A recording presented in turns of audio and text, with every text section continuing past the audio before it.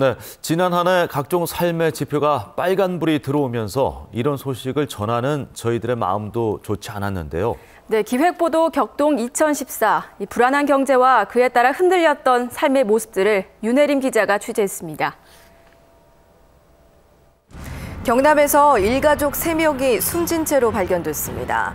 생활고에 시달리던 가장이 극단적인 선택을 무한 한 취업 경쟁 속에 놓인 취업 준비생들이 경제적 어려움은 물론이고 자살 충동까지 50대 장애인 아들이 70대 노모를 살해한 뒤 스스로 목숨을 끊는 젊은 부부가 아들을 살해한 뒤 투신해 숨지는 사건이 발생했습니다.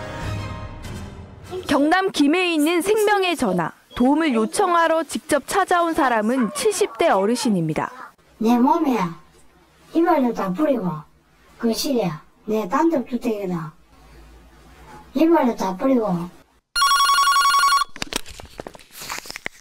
네, 감사합니다. 김해 생명의 전화입니다. 여보세요. 네, 무엇을 도와드릴까요? 어, 우리 일하러 다니는데요. 예.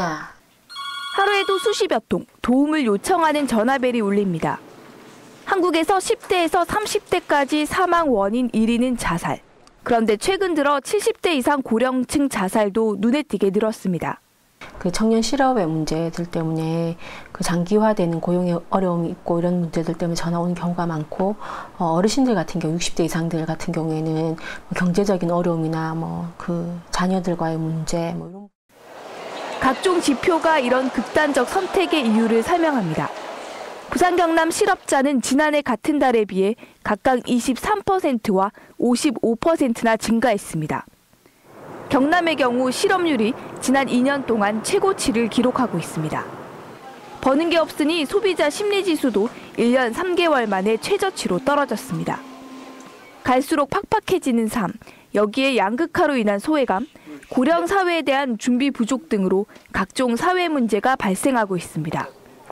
나락으로 떨어진 각종 삶의 지표가 연말 마음을 무겁게 하지만 이럴 때일수록 서로에 대한 작은 관심과 작은 행복이라도 찾으려는 노력이 더없이 필요해 보입니다.